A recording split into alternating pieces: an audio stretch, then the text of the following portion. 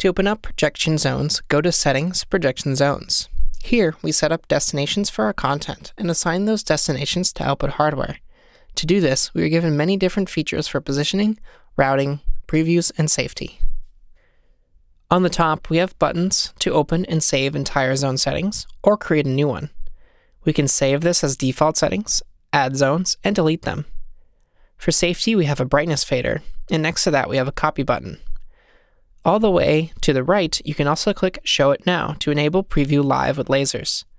Above those buttons, there is more options related to saving, view options, and more.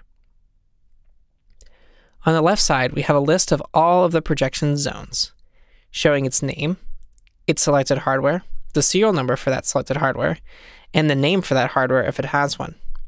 Here you can see what it looks like if a zone is assigned to connected hardware, and here for disconnected hardware. On the left side, you can also mute the zone so it doesn't do anything at all. And on the right side, you have two boxes you can select for two different types of test patterns. You can click to enable.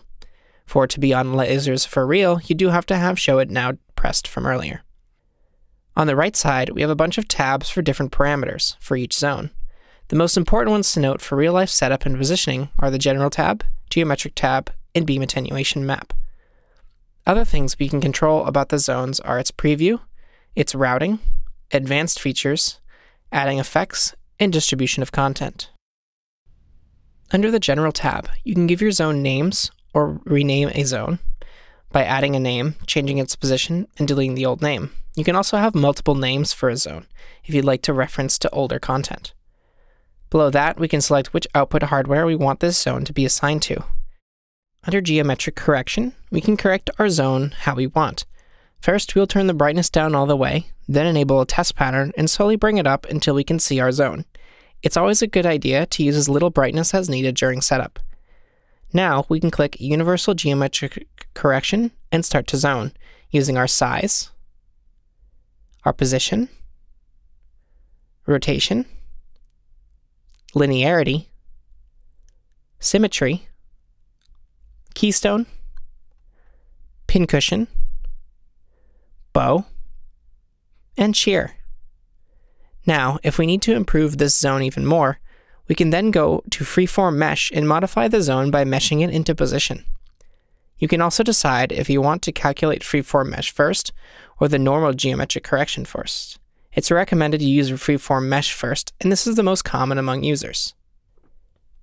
Next, we can use the beam attenuation map if we have somewhere within our zone that we want the lasers to turn off for, this is useful if you want to block out a reflective area within your zone, or if you want to mask out things like video projectors from your zone. Before we start blacking out an area, we need to decide if we want our map to be within our geometric correction, or over the entirety of the projector's capable area. Click Geometric Correction after BAM if you want to be within the zone. And when you move the zone, the, you'll also move your beam attenuation map. Select BAM after geometric correction if you don't want your BAM to move if you move your geometric correction. Once we have made that decision, we can enable beam attenuation map for this zone and prepare to draw.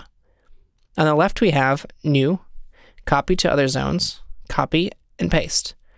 Then the Pencil tool, Spray Can tool, Eyedropper tool, Paint Can, Solid Square, and Gradient Squares. On the bottom, we can select which brightness we want to draw with. On the right, we can also enable our cursor, which will show where your mouse is in real life in laser. We can enable our laser cursor, and let's block out an area of our zone. Then we can also try and do a gradient upward from the bottom. You can also see these live happening in the zone as we draw it.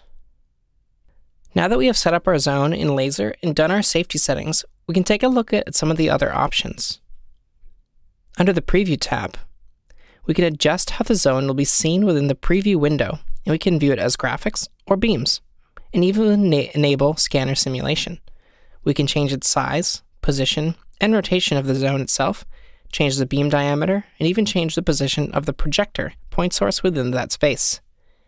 On the right, we can see how it look in our preview window and within our enhanced reality preview. By using Preview, you can write an entire complex laser shows just using the Preview window and Enhanced Reality Preview without having to worry about setting it up in real life or in a 3D way. Next, we have Also 2. You can use this to either bind zones together, so when you select one zone, it'll also go out to the other zones. Here you can add those names. You can also use this to stitch content onto multiple zones by enabling the window and resize positioning and modifying the space. This is often used for very large scale projections over large areas, like a sports stadium field. Next, we have the Effect tab. You can use this to add any effect inside the Beyond Effect engine to an entire zone. Most of the time, this is used for filters like Delete Dark Lines. Distribution is used to take multiple projectors to scan the same image at the same time by dividing the content up between projectors. In theory, taking two projectors to create one zone that can do twice the number of points per second.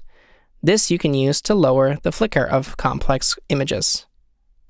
You would first line up two zones using geometric correction that enable distributed scanning on your first zone.